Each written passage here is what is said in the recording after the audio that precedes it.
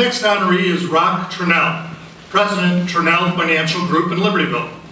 Four nominations were received on behalf of Roch in three different categories.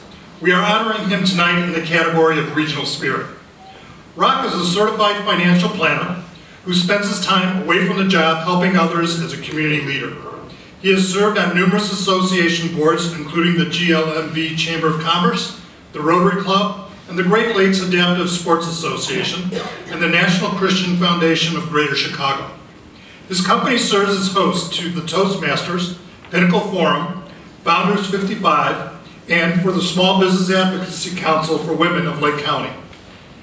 Roch is also passionate and active in growing the Tranel movement, which includes leadership, community growth, and networking opportunities. Professionally, Roch was named one of the top dog 500 financial advisors in the nation by Wealth Management Magazine. His firm has been recognized locally as an Employer of the Year and received the Lake County Chamber Award for Community Involvement. Roch just completed his first book, The Friend Economy. He lives in Libertyville with his wife Kathleen and their two children. Please join me in congratulating Roch Tranel.